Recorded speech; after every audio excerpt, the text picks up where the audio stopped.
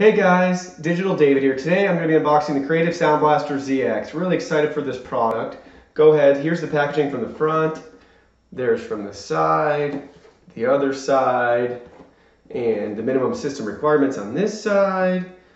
Just showing you, and here's the back. Just bragging on the product, which they should. It's a high performance gaming entertainment audio um, device, so really excited to get this set up in the computer. We'll go ahead now and open it up see what's in the box. And while I'm doing this, you can check out this as well on Amazon. The link is in my video description below. You can see if this is the right product for you. Check out some reviews, see more photos, in-depth description, that sort of thing. Here is the first thing out of the box. Great packaging, really cool. Headphone volume controls, fancy, really neat. Headphone microphone on that side, headphone microphone on this side. Really a cool knob for the volume, really nice. Can't really explain it any better, show you the quality, but really cool, really neat cable wrapped as well. Just got a great gaming setup vibe to it. So that's out of the box. Next thing out of the box is going to be the card itself.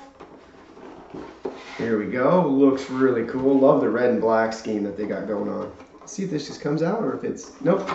It is tied in, which we'll undo those zip ties in a second so we can see the full thing. Let's see what else is in here. All right. In here we have audio cables. Great. Sound Blaster ZX Quick Start Guide. Want to hold on to this. And it looks like it's got a CD, DVD as well. And another optical audio cable. Want to hold on to that too. So, a couple of cables for your needs. Setup guide. Now we'll go ahead.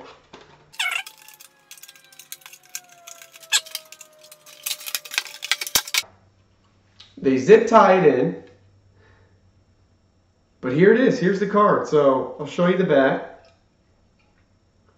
It's got all your different audio connections and setups right there.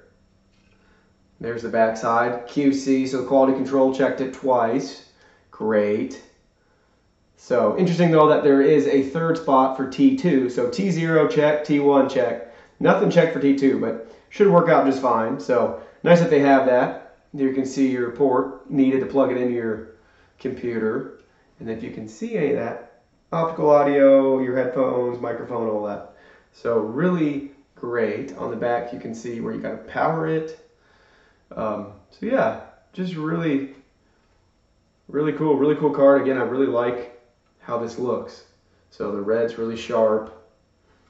Just a cool little cover on it. So great device. Really excited to get this set up. And I appreciate you guys watching this video. Again, this is from Sound Blaster. So here it is and I will see you guys in the next video.